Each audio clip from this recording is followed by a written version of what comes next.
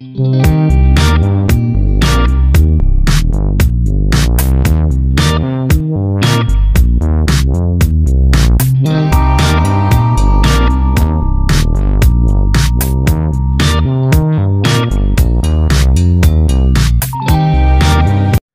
વિદ્યાર્થી મિત્રો, આગળનો ટોપિક છે સંયુક્ત માઇક્રોસ્કોપ આ સંયુક્ત માઇક્રોસ્કોપ એ મોસ્ટ આઈએમપી ક્વેશ્ચન છે અને ત્રણ માર્ક્સનો ક્વેશ્ચન છે.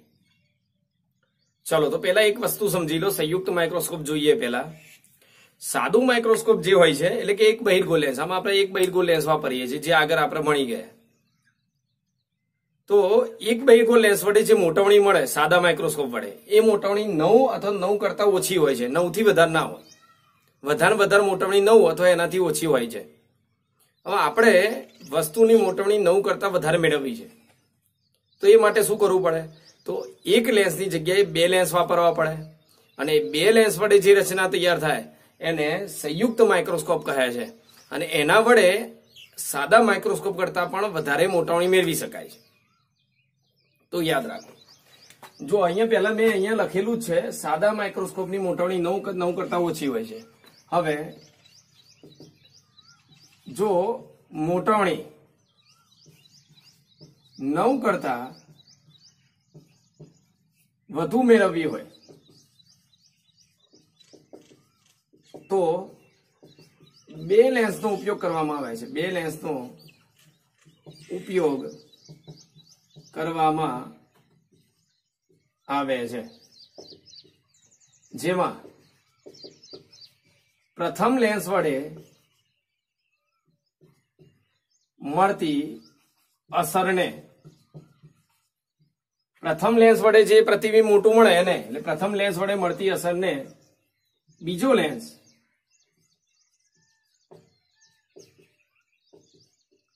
વિવર્ધિત કરે છે. એટલે મોટું કરે છે. આ રચનાને, આવી જે રચના હોય, આ રચનાને સંયુક્ત માઇક્રોસ્કોપ કહે છે. સંયુક્ત. માઇક્રોસ્કોપ કહે છે. ચલો, તો હું સંયુક્ત માઇક્રોસ્કોપ કેવી રીતે કામ કરે છે એની રચના અહીંયા તમને બતાવું છું. ધ્યાનથી જોજો. સંયુક્ત માઇક્રોસ્કોપની રચના આકૃતિમાં દર્શાવી છે. એટલે આપણે સંયુક્ત માઇક્રોસ્કોપની રચના કેવી હોય એ હવે આપણે સમજીએ. તો અહીંયા જો હું સંયુક્ત માઇક્રોસ્કોપની રચના અહીંયા બતાવી દઉં છું.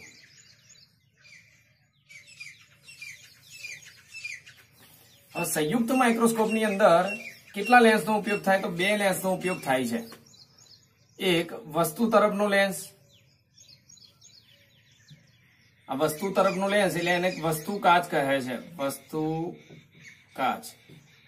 ઓબ્જેક્ટ લેન્સ યાદ રાખજો. વસ્તુ તરફનો કાચ કેવો હોય છે તો નાની કેન્દ્ર લંબાઈ વાળો. કેન્દ્ર લંબાઈ પણ નાની હોય આની. જો આ- મુખ્ય કેન્દ્ર એનું. અને આ એની કેન્દ્ર લંબાઈ. વસ્તુ કાચની કેન્દ્ર લંબાઈ ઓબ્જેક્ટિવ લેન્સ એ નાની કેન્દ્ર લંબાઈ વ્યાસ પણ નાનો હોય. અને આંખ તરફનો લેન્સ એ આ જે લેન્સ છે, એને નેત્ર કાચ કહે છે.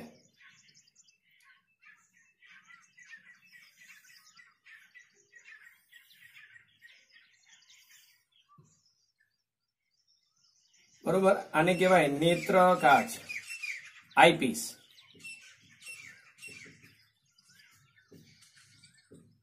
અને એ મોટી કેન્દ્ર લંબાઈ? આમ. આઈપીસની કેન્દ્ર લંબાઈ મોટી અને વ્યાસ પણ મોટો હોય છે. તમને ખબર જ છે, સંયુક્ત માઇક્રોસ્કોપમાં બે લેન્સ વપરાય. વસ્તુ તરફનો કાચ ઓબ્જેક્ટિવ લેન્સ ઓછી કેન્દ્ર લંબાઈ, ઓછા વ્યાસ વાળો અને આંખ તરફનો કાચ એ વધુ કેન્દ્ર લંબાઈ અને વધારે વ્યાસ વાળો એટલે જો આપણે પેલા લખી દઈએ. જેમાં વસ્તુ તરફના કાચને, વસ્તુ તરફના કાચને નેત્ર કાચ, કૌંસમાં ઓબ્જેક્ટિવ લેન્સ જે નાની કેન્દ્ર લંબાઈ અને ઓછા વ્યાસનું હોય છે. અને આંખ તરફનો લેન્સ તથા આંખ તરફનો લેન્સ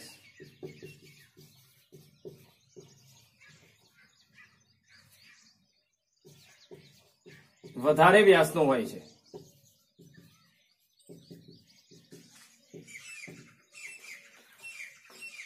અને આના કરતા થોડી વધારે કેન્દ્ર લંબાઈ વાળો હોય છે.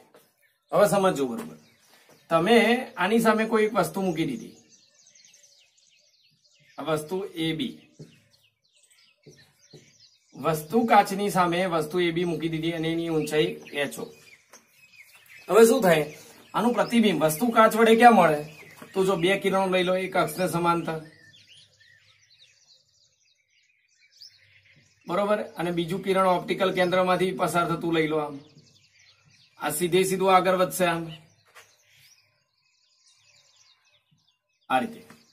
અને બીજું કિરણ આપણે અહીંયાથી લઈશું એફમાંથી પસાર થતું આમ. સમાંતર કિરણ આના મુખ્ય કેન્દ્ર વસ્તુકાતના મુખ્ય કેન્દ્રમાંથી પસાર થાય. હવે તમે અહીંયા ધ્યાનથી જોજો. આ બંને કિરણો ક્યાં ભેગા થાય છે? જુઓ તો હું અહીંયા સીધી સીધું આગળ લઉં આમ. તો અહીંયા ભેગા મળે છે. આ જગ્યાએ બંને ભેગા થાય. એટલે એ ડેશ અને બી ડેશ અને આ પ્રતિબિંબની ઊંચાઈ. બરોબર આ જગ્યાએ ભેગા થાય. તો જો પહેલા, વસ્તુ કાચ વડે શું લખાશે અહીંયા? જો વસ્તુ કાચ વડે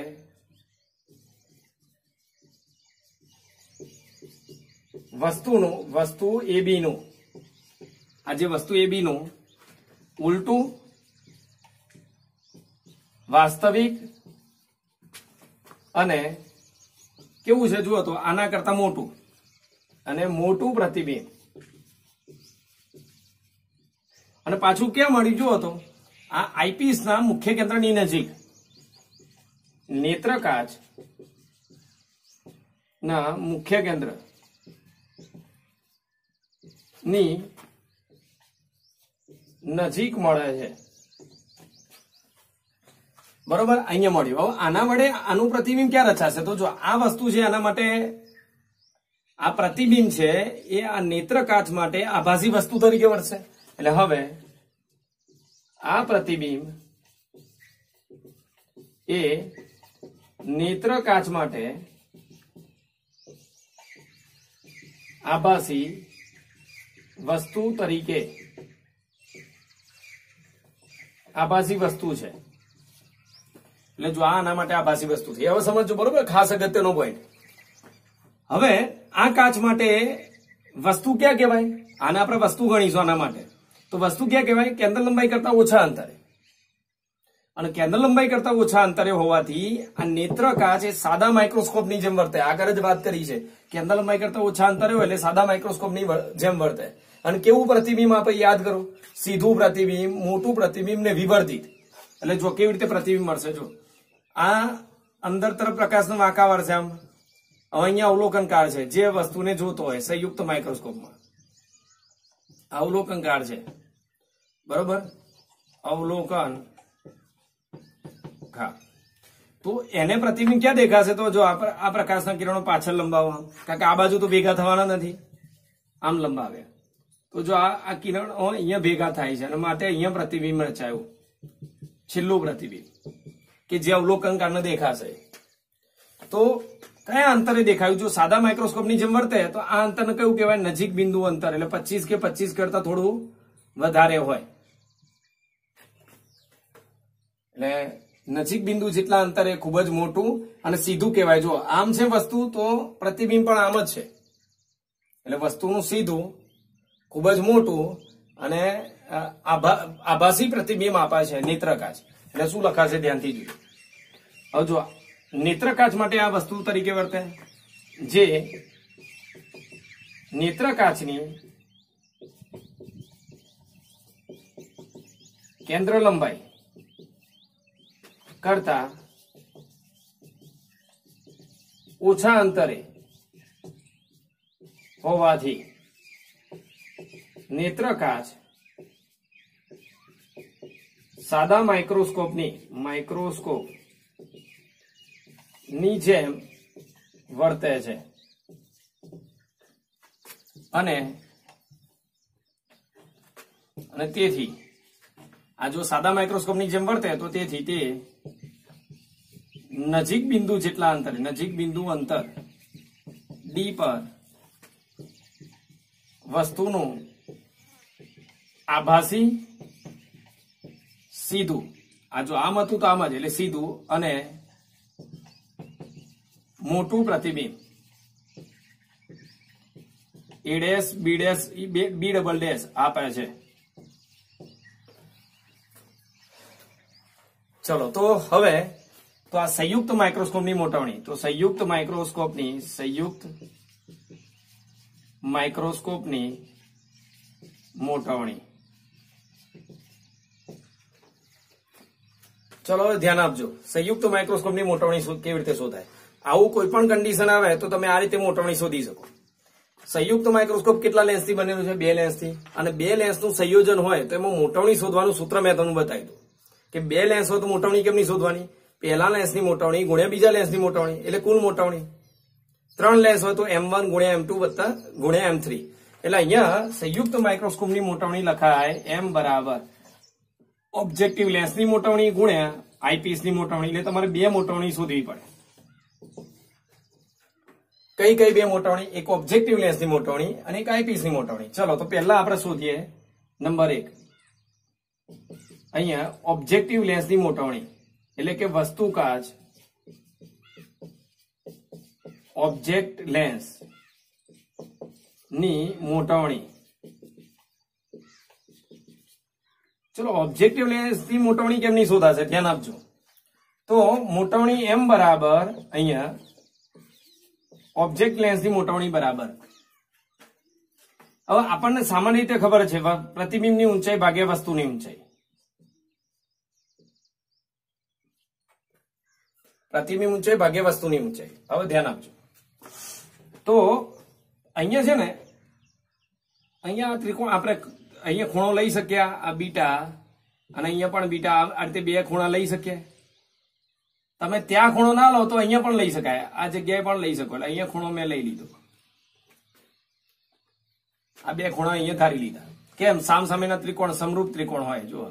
અને આ ઊંચાઈ કેટલી થાય? પેચો જેટલી જ થાય. આની મોટવણી બરાબર. તો એચઆઈ પણ એચો પ્રતિબિંબની ઊંચાઈ ભાગ્યા વસ્તુની ઊંચાઈ તો ટેન બીટા બરાબર શું લખાય? જ્યાં, ધ્યાન આપજો. બીજી એક વસ્તુ પણ યાદ રાખો, આ બે ખૂણા લીધા પછી. આ ઊંચાઈને આપણે આના જેટલી ગણી જો. અને આ જે, આ બે મુખ્ય કેન્દ્ર વચ્ચેનું જે અંતર છે, એને સંયુક્ત માઇક્રોસ્કોપની ટ્યુબ લેન્થ કહે છે, અથવા ટ્યુબ લંબાઈ કહે છે. ટ્યુબ લંબાઈ. માઇક્રોસ્કોપની જે નળી હોય, એમાં બે લેન્સ હોય, એના મુખ્ય કેન્દ્ર એને વચ્ચેનું વધારાનું અંતર એને ટ્યુબ લંબાઈ કહેવાય. એટલે આ ટ્યુબ લંબાઈ થઈ ગઈ. બરોબર? ચલો, તો હવે આપણે આ બે ત્રિકોણનો ઉપયોગ કરીએ. તો આકૃતિ પરથી આકૃતિ પરથી, ફરીથી જો ઓબ્જેક્ટિવ લેન્સની મોટવણી શોધવા માટે એચઆઈ પણ એચું સૂત્ર લીધું આપણે. પ્રતિબિંબની ઊંચાઈ ભાગે વસ્તુની ઊંચાઈ. કેમનું શોધીશું? તો જો આ પ્રતિબિંબની ઊંચાઈ, અહીંયા વસ્તુની ઊંચાઈ થઈ ગયા તો બે સામસામેના ખૂણા લઈ લીધા. ટેન બીટા બરાબર. આમાં ટેન બીટા એટલે સામેની બાજુ એચઆઈ ભાગ્યા પાસેની બાજુ, એટલે એલ લગભગ એલ જેટલું ગણાય, જો આ એલ જેટલું. આટલો ભાગ અવગણી શકાય. આ બાજુ, બરાબર. ટેન બીટા પર સામેની બાજુ, એટલે એચઓ અને ભાગ્યા પાસેની બાજુ, એટલે એફઓ આમાં ટેન સામેની બાજુ એચઆઈ ભાગ્યા પાસેની બાજુ એલ આમાં ટેન બીટા સામેની બાજુ એચઓ ભાગે પાસેની બાજુ એફઓ તો માટે શું થાય? અને માટે એચઆઈ પણ એચઓ માટે મોટવણી એમ બરાબર એચઆઈ અપન એચઓ ધ્યાનથી જોજો. તો એચઆઈ ની નીચે એચઓ લઈએ તો એલ ઉપર જાય. એલ અપન એફઓ આ ઓબ્જેક્ટિવ લેન્સની મોટવણી થઈ ગઈ. આના પરથી. જ્યાં એલ શું છે? ટ્યુબ લેન્થ અથવા ટ્યુબ લંબાઈ. એટલે કયું અંતર? બી અને બી વચ્ચેનું અંતર. બી અને બી એટલે બી એટલે લગભગ બી જ કહેવાય. બે સરખા જ છે. બરોબર? અને એફઓ એટલે નેત્ર કાચ સોરી વસ્તુ કાચની કેન્દ્ર લંબાઈ? ચલો, એક મોટવણી, આની મોટવણી તો આવી ગઈ આપણી પાસે. આ રહી. હવે આઈપીસની મોટવણી. તો આઈપીસ તો બહુ સરળ છે. તમને ખબર જ છે કે વસ્તુ આના માટે વસ્તુ કઈ થાય? આના વડે જે પ્રતિબિંબ રચાયું એ આના માટે વસ્તુ થાય. વસ્તુ એપ કરતા ઓછા અંતરે હોય જો એપ કરતા ઓછા અંતરે હોય. તો આઈપીસ સાદા માઇક્રોસ્કોપની જેમ વર્તે. અને માટે એની મોટવણી. એટલે જો નેત્ર કાચની મોટવણી. નેત્ર કાચની મોટવણી. જે સાદા માઇક્રોસ્કોપની જેમ વર્તે છે. એટલે નેત્ર કાચની મોટવણી one plus D upon F E કારણ કે નેત્ર કાચ છે એટલે કેન્દ્ર લંબાઈ એફઈ લખાય. પણ જો વસ્તુ એપ પર હોય. અને જો વસ્તુ આ બિલકુલ એપ પર જ રચાયું, એની નજીક છે આપણે એપ પર રચાય એવું ગણી શકીએ. અથવા એપ પર જ રચાય એવું ગણીએ. તો મોટવણી શું લખાય? અને હોય તો મોટવણી એ એક એક ઓછી હોય એટલે ડી બાય એફ એફથી થોડી નજીક, એટલે કેન્દ્ર લંબાઈ કરતા ઓછા અંતરે હોય, તો one plus D by F અને કેન્દ્ર લંબાઈ જેટલા જ અંતરે હોય, તો ડી બાય એફ આ વસ્તુ આપણે આગળના ટોપિકમાં સાદા માઇક્રોસ્કોપમાં મળી ગઈ. તો ઓબ્જેક્ટિવ લેન્સની મોટવણી અને આઈપીસની મોટવણી મળી ગઈ. હવે મૂકી દો સૂત્રમાં. તો સમીકરણ એક પરથી, સમીકરણ એક પરથી સંયુક્ત માઇક્રોસ્કોપની સંયુક્ત માઇક્રોસ્કોપની મોટવણી. તો સંયુક્ત માઇક્રોસ્કોપની મોટવણી એમ બરાબર. એમઓ ની જગ્યાએ શું લખીશું આપણે? એલ અપન એફઓ અને ગુણ્યા એમી ની જગ્યાએ શું લખીશું? અહીંયા જુઓ તો ડી બાય એફઈ તો આ સંયુક્ત માઇક્રોસ્કોપની મોટવણી આવી. ઉદાહરણ તરીકે, ચલો, ધ્યાન આપજો. ઉદાહરણ તરીકે, ધારી લો કે આપણી પાસે એક સંયુક્ત માઇક્રોસ્કોપ છે. એની આ વસ્તુ કાચની મોટવણી, એટલે નાનો કાચ હોય એની કેન્દ્ર લંબાઈ ઓછી હોય, એટલે એક સેન્ટીમીટર. અને આ નેત્ર કાચ, એટલે આંખ તરફનો જે લેન્સ હોય એના કરતા થોડો મોટો એટલે કેન્દ્ર લંબાઈ થોડી વધારે હોય. જો યાદ રાખજો, બહુ વધારે ના હોય. વસ્તુ કાચની મોટવણી એક સેન્ટીમીટર, આની થોડી જ વધારે હોય એટલે આની કેન્દ્ર લંબાઈ બે સેન્ટીમીટર.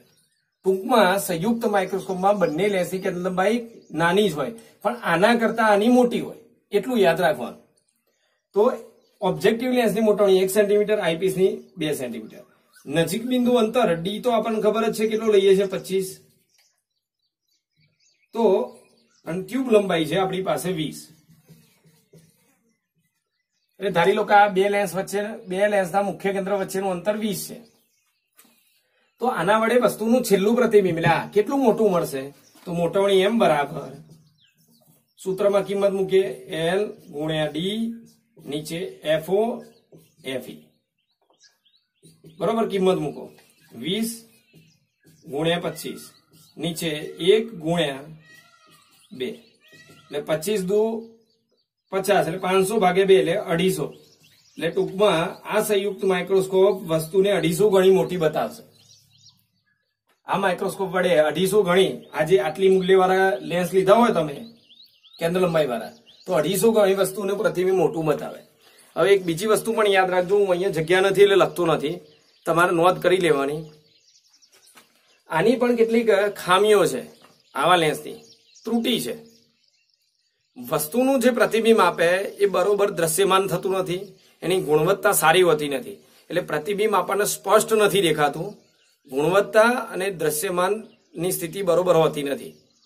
એટલે આપણે જો વધારે સારું પ્રતિબિંબ મેળવવું હોય તો સંયુક્ત માઇક્રોસ્કોપ, એટલે અત્યારે જે આધુનિક માઇક્રોસ્કોપ વપરાય, એમાં આધુનિક માઇક્રોસ્કોપમાં આના બહુ ઘટક લેન્સો વપરાય છે.